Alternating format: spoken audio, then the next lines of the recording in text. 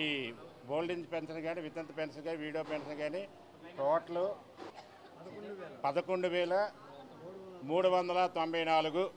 అయితే ఒక కోటి ఇరవై లక్షలు ఒక కాన్స్టిట్యూషన్ ఒక కోటి ఇరవై ఒక లక్ష ఒక కాన్ చేసిన పద్నాలుగు వార్డులకి.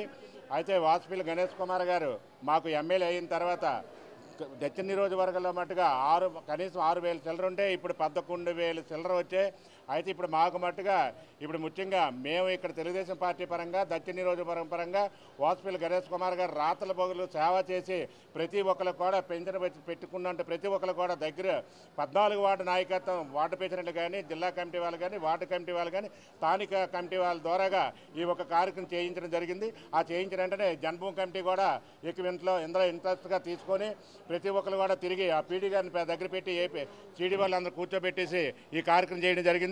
ఈ వేళ మట్టుగా ఒక్కొక్క వార్డుకి వంద వేసి రెండేసి వందలు తొంభై వేసి మినిమం వచ్చే వాటికి ఫస్ట్ వచ్చినవి పదిహేడు వందలు కొత్త పెన్షన్లు చంద్రబాబు నాయుడు గారి దగ్గరికి వెళ్ళి కూడా అయ్యి ఎమ్మెల్యే గారు గ్రాంట్ చేసి ఇప్పుడు ఈ కొత్తగా వచ్చినట్టు వాళ్ళకి ఈవేళ ఇక్కడ ఇవ్వడం జరిగింది.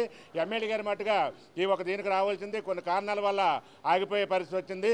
ఆ కళా వెంకట్రావు గారు రాష్ట్ర అధ్యక్షుడు మొదటిసారి వచ్చిన తర్వాత ఆయన కలడాకి వెళ్ళడం జరిగింది.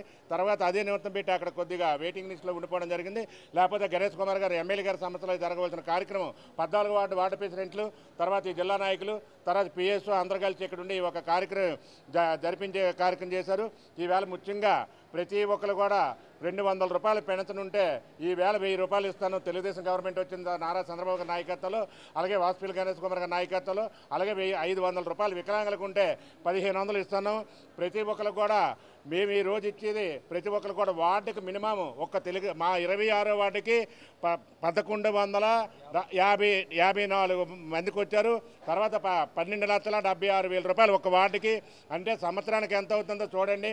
నూట డెబ్బై కాన్స్టిట్యూషన్లో ప్రతి ఒక్క దగ్గర కూడా కొన్ని వందల వేల కోట్లాది రూపాయలు బాబు గారు కూర్చోడా కుర్చీ లేకపోయినా ఈ రాష్ట్రంలో డబ్బు లేకపోయినా సరే గజం లేకపోయినా సరే ఏ ఒక్క పని కూడా ఆపే పొజిషన్ లేదు.